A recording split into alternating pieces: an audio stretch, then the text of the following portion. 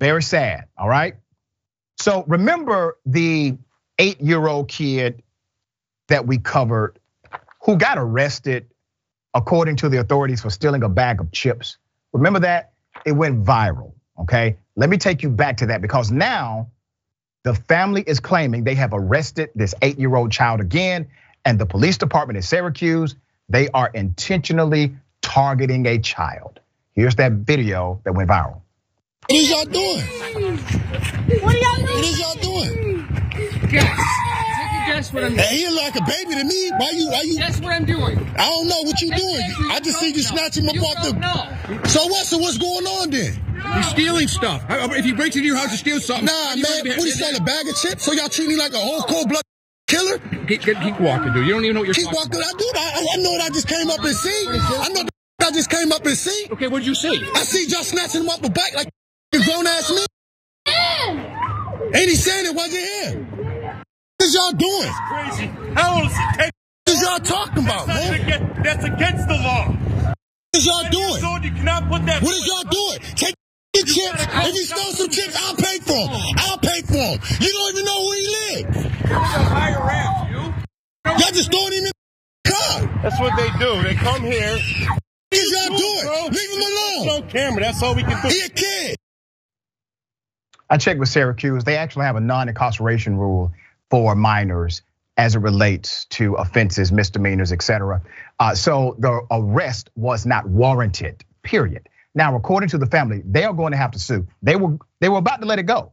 They now have to sue because the eight-year-old was arrested again, and there seems to be a pattern of targeting this kid. Let me give you the background. All right. Since that incident went viral, the department they have continued to single out this child according to the uh, uh, parents and the attorneys. The attorney said while the child was on his way to Schiller Park pool, he was accosted by the police. The child's trip to go swimming was impeded by law enforcement. And a purported video exists showing him in handcuffs again as the officers investigated a robbery. A video purportedly attached to the claim shows the eight year old remained in handcuffs for up to 10 minutes before being released without being charged with anything. That's exactly what happened to him the first time. Now remember, there's a protocol, a law that prohibits officers from incarcerating minors for petty offenses. You do have to call the parents if you feel as if that's necessary. The SPD, Syracuse Police Department, confirmed in a statement the boy was detained in handcuffs at the park as officers investigated an alleged armed robbery. There was no robbery. There was no robbery. That's coming from the police. So wait a minute. The police, they're not saying he's not the person that did it. They're saying a robbery did not even happen.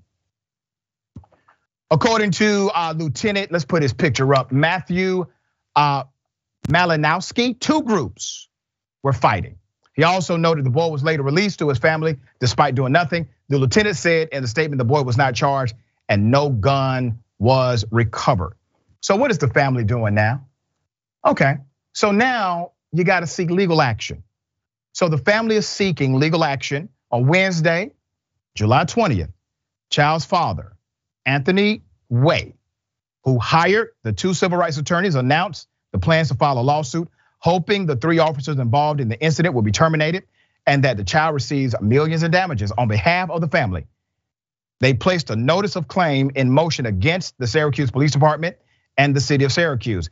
A notice of claim is required to alert a city of a future lawsuit and to establish rules for a conversation about the potential settlement. Uh, now, this is common for pretty much every government. You have to send them a warning shot, so to speak, legally. You have to send them an intent to sue, is what this letter does. Uh, but it also lays out their case of why this is pending. Uh, let's go to the chief.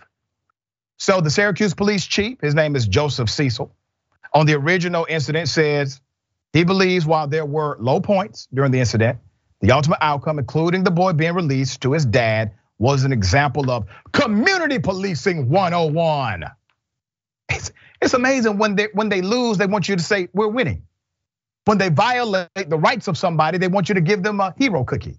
When they go outside of the boundaries of their profession and they violate a kid, they still want you to think, well, that is a good thing. This is the culture of policing. There was a time when nobody would ever believe that a police department is targeting an eight year old kid. But think about this that eight year old kid, because of how they treated him, has created significant embarrassment to that police department. You don't think if some of these cops saw this kid and said, that's the one, you don't think they will mess with them? They literally said he, he fit the description of a robber and no robbery had taken place. What do you think they're doing? All right, Jackson, thoughts on this? So, you know, a lot of people from the outside looking in, you know, don't understand that these police departments literally view black communities as staying within the greater community in their eyes. And, you know, you have to get to them early. You got to get them out of here early. I mean, just look at the anger that is totally unnecessary for dealing with a child if you're a grown man. Again, it's reflection of how they look at the community in general. So, you know, these three officers absolutely should be fired. An example should be set. But again, the bigger problem is is the hiring process of bringing people in who look at blacks as stains on the greater community. And that's that's all it is. Very well said.